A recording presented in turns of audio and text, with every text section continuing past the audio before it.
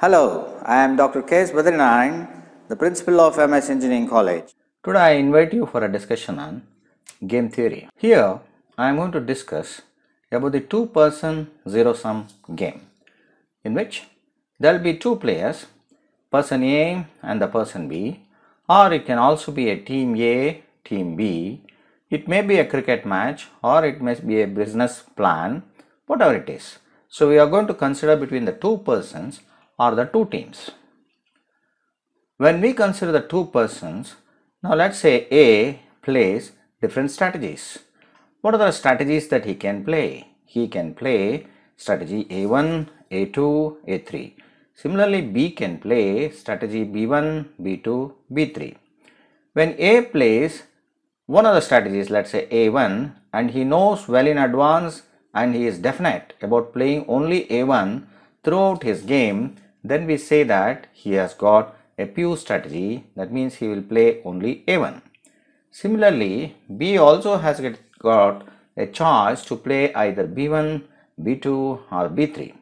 When he knows that he is going to play only the B2 strategy, then we say that he is going to he is going to play only the pure strategy. In some cases where A does not know whether he is going to play either a strategy A1 or A2, then he may play now for example let's say around 40% of the time he plays A1, 60% of the time he may play A2. So in that case we say that A is playing mixed strategies. Now if you look at this matrix we have got the payoff matrix that means when A is playing A1 B is playing B1 the payoffs for A is 2 rupees or 2 units of you know any anything whatever we take. So similarly when A is playing A1 B is playing B2 the payoffs is 3 rupees. Now if you look at the problem from the perspective of only A, when A is playing A1 and B is playing B1, the payoff is 2. That means A is going to gain 2 rupees and the B is going to lose 2 rupees. So in total, if you take the arithmetic of it, that is the gain of A is the loss of B. So that is algebraic sum of both if you take, it is 2 plus minus 2 is equal to 0. Therefore, we say that it is a two person zero sum game. We also discuss about the saddle point and the value of the game. Now let's look at what is a saddle point is all about. We'll consider a problem in which A has got four strategies and B has got five strategies. So in which A is going to play the strategies A1, A2, A3, A4 such that he tries to play uh, the minimum payoffs he is going to get and he let's identify what is the minimum payoff that he is going to get if he is playing A1 strategy. Now that is uh, if you look at it out of 93180 is the minimum is 0 correspond to the B playing strategy of B5 therefore the minimum that you are going to have is uh, 0. Now Similarly, for A playing A2 strategy, the minimum is 4. A playing A3 strategy, minimum or the row minimum there we have 2. Similarly, A playing A4, we have the minimum 1. So, when he has got the minimum payoffs, A will always definitely play a strategy which is going to maximize his minimum payoffs. So, if you take the maximum of minimum payoffs, it is 4 among 0 4 to 1 it is 4 so that is 4 now let's see b. When he is playing b1 strategy what is the loss maximum loss that he is going to incur? Is 9 what the maximum loss he is going to incur when he is playing b2 strategy it is 6 similarly 4 8 and 8 that is the maximum losses so therefore now he will not play the games having the maximum losses but he will play the game having the minimum losses. So therefore he will try to choose minimum of the maximums. So that is minimum of the maximums is 4. So min of max is equal to 4. Now if you find out from this example we have maximin is equal to min max is equal to 4. Now that is common, that is both of them are same.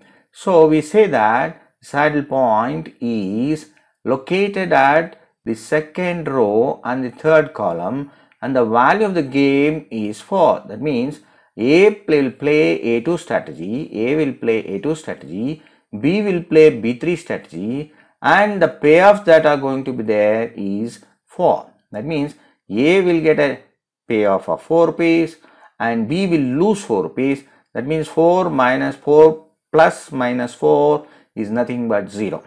So this problem is getting determined because we have the saddle point. The saddle point determines what strategies A will play and what strategies B will play here and also determines what are the maximum payoffs that A can have, right?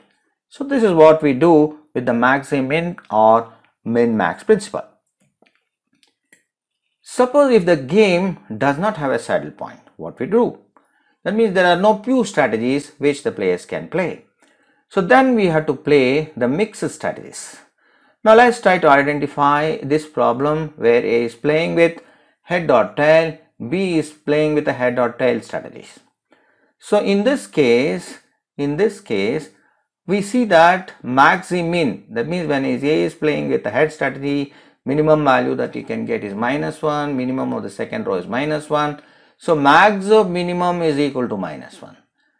So when B is playing H, maximum value is 2. When B is playing T, it is 0. So min max is equal to 0. That means maximin is not equal to min max, therefore there is no saddle point. So when a problem does not have a saddle point, what we do? We go for an algebraic method in which uh, we are going to consider the probabilities associated with A playing the head strategy or the first strategy, probabilities that he plays with the second strategy, that is the tail strategy, P2. So we have P1, P2 we are going to define, that is P1 is the probability with which A plays head strategy, P2 is the probability with which A plays T strategy, such that P1 plus P2 is equal to 1. Similarly, we also have the B playing H strategy and Q strategy. So Q1 is the probability with which B plays H strategy, Q2 is the probability with which B plays T strategy such that Q1 plus Q2 is equal to 1. So we define these probabilities for this particular problem. So once we define the probabilities, we multiply and get the what are the payoffs. That means when B plays the H strategy, H strategy, what are the payoffs for A? That is 2 into P1 number of times, that is the probability with which he plays H strategy, plus minus 1 into P2. So that's what we are going to write here, 2P1 minus P2, which is nothing but 2P1 minus of P2, we are going to replace by 1 minus P1. So that will be 3P1 minus P1, that let's say it is the first, first equation. Now similarly, when B plays B2 uh, T strategy, T strategy, it is minus 1 into P1 plus 0 into P2. So that's minus 1 P1 into 0 into P2 that's nothing but minus P1. Now if you look at these two equations 1 and 2 they are equal. So 3p1 minus 1 is equal to minus p1 or 4p1 is equal to 1, p1 is equal to 1 by 4, p2 is equal to 3 by 4 and the solution that's the value of the game if you substitute in any one of the equation let's say 2p1 minus p2 you substitute the value will get minus 1 by 4 as the value of the game. Similarly, we calculate now q1 and q2. So when A is playing the head strategy, that is the first strategy, the payoffs are 2 into q1 plus minus 1 into q2, that is 2 q1 minus q2. Similarly, when A is playing the T strategy, the payoffs are minus 1 into Q1 plus 0 into Q2, right?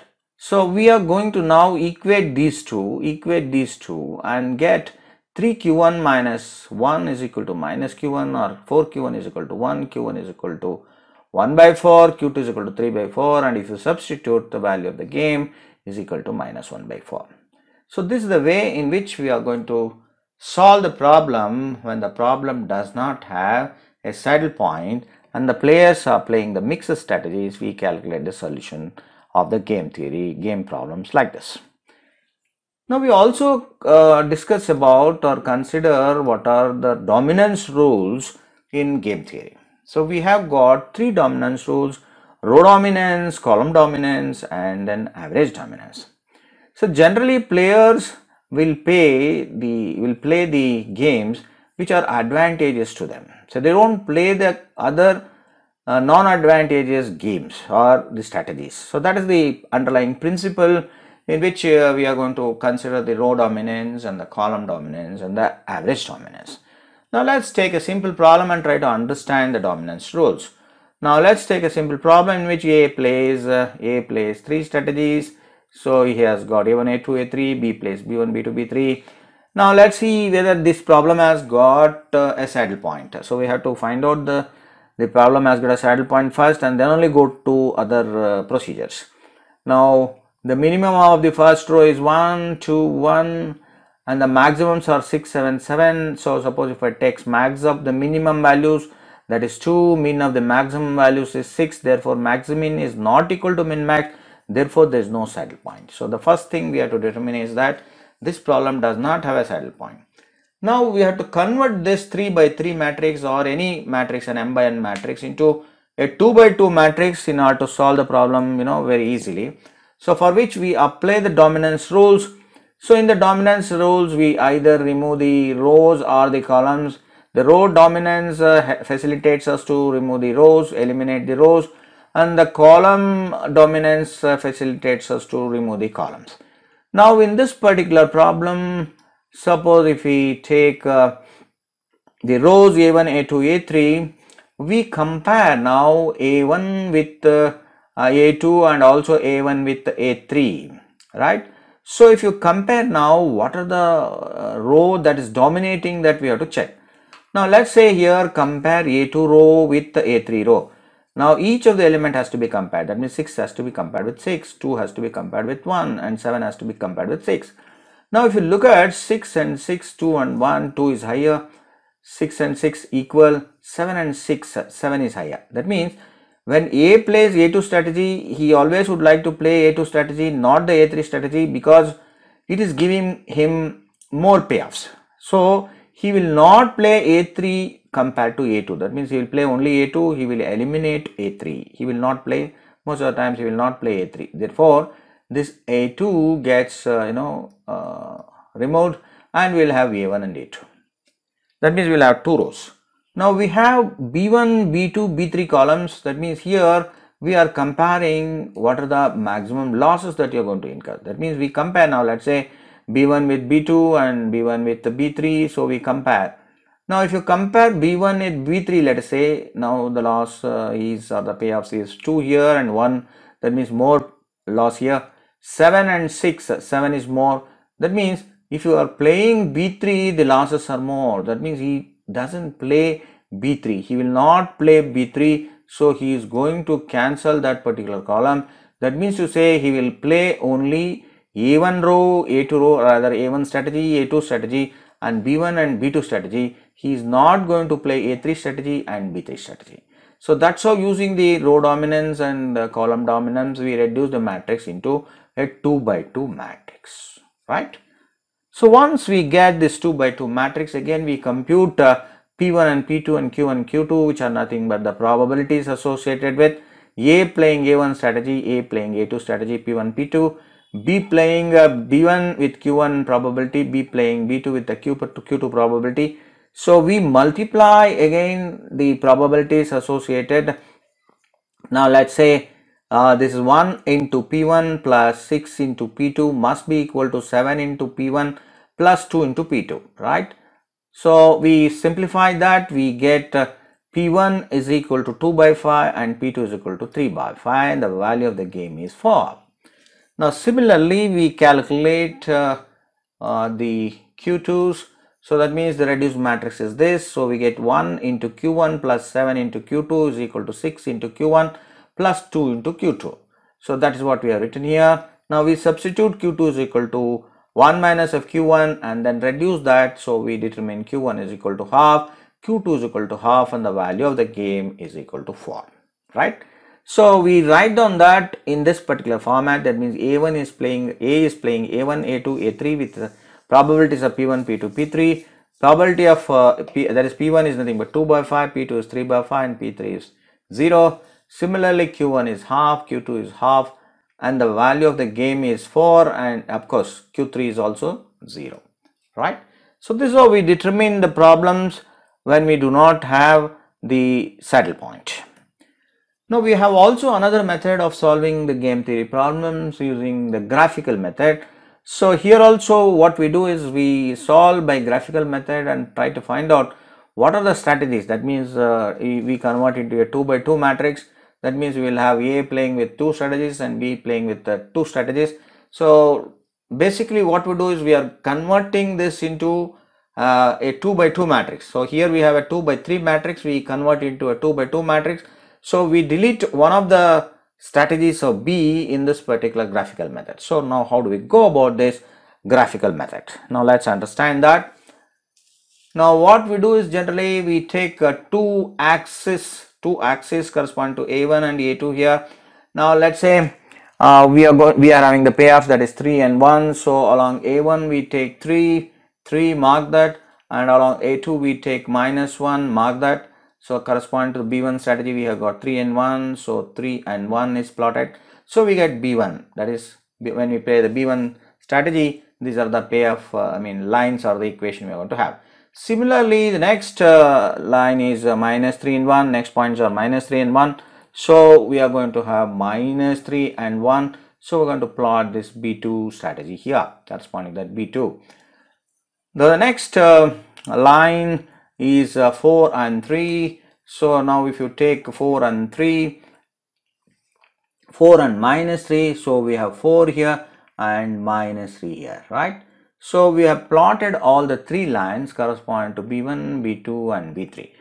Now if you look at now A is playing the strategies A1 and A2. Now he is going to take the minimums and out of that he is going to select the maximum. So it is maximums he will take and uh, out of the minimums right.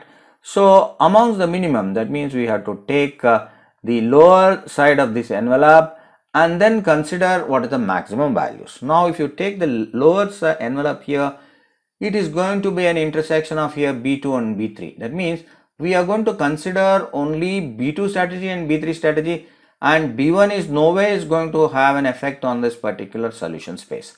So we consider only B2 and B3. So B2 and B3 uh, and uh, mark this particular space. Amongst this we find that uh, the maximum will occur somewhere here right? So the maximum is going to occur here right? So now if you are converting into a 2 by 2 matrix that's b2 and b3 is only be considered. So i will have b2 and b3 here what we are going to consider. B2 and b3 with a playing with a1 and a2 strategies so again the same procedure we find out the probabilities P1 and P2 with which A plays A1 and A plays A2. Similarly, Q, uh, Q2 and Q3 is the probabilities with which B plays B2 and P3 such that we have P1 plus P2 is equal to 1, Q2 plus Q3 is equal to 1.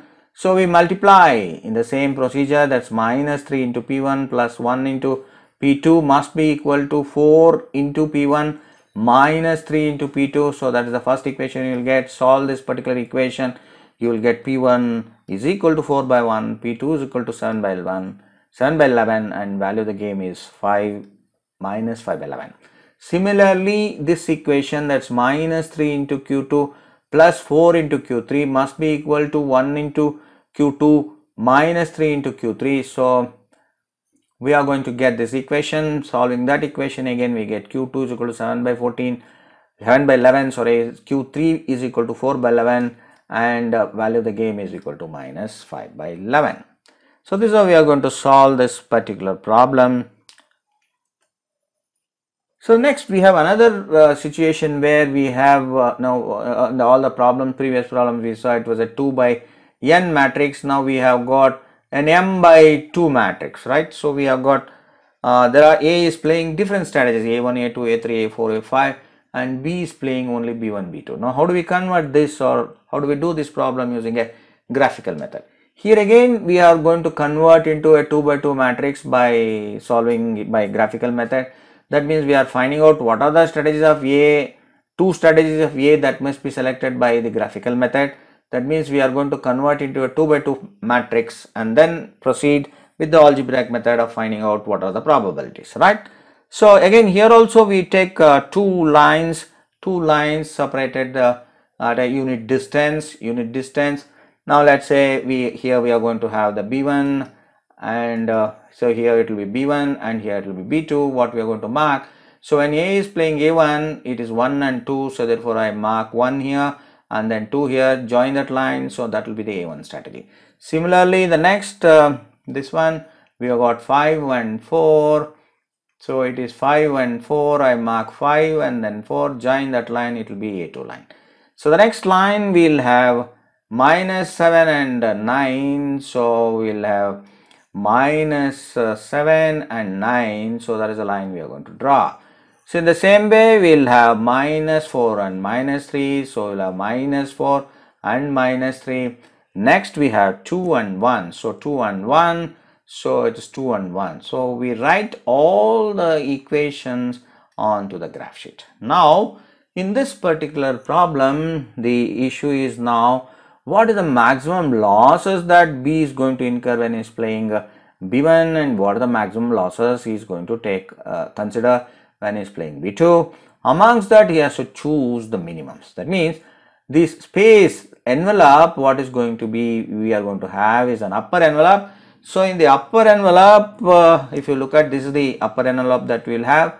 And amongst that minimum. So what is the minimum loss that is going to incur when he is playing this strategy? So if you look at that so the minimum loss uh, is going to occur somewhere here. That means when A is playing A3 strategy and A2 strategy and other strategies are not going to affect uh, the you know payoffs.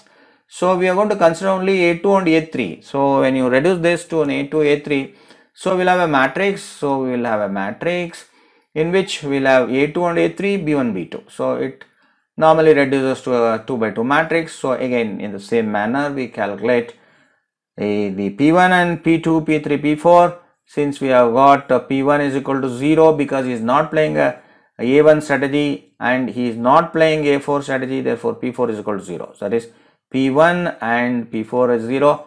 Uh, we compute P2 and P3 which uh, turns out to be 16 by 7, 17 and 1 by 17 and the value of the game turns out to be 73 by 17 Similarly, B is now playing B1 and B2 with the probability of Q1 and Q2 that is 5 by 17 and 12 by 17, right? So this is how we are going to solve the game theory problems. I hope you have understood how to solve a game theory problem and you have got a saddle point and when you don't have a saddle point you play the mixed strategy and then find out what are the probabilities with which you place the different strategies and we also learned how to solve the problem using graphical method so we plot the graphical method and we reduce that matrix into 2 by 2 matrix and use the algebraic method to solve the probabilities and we determine what is the value of the game and uh, what are the strategies associated with. Thank you for watching. Please subscribe to MSEC's channel.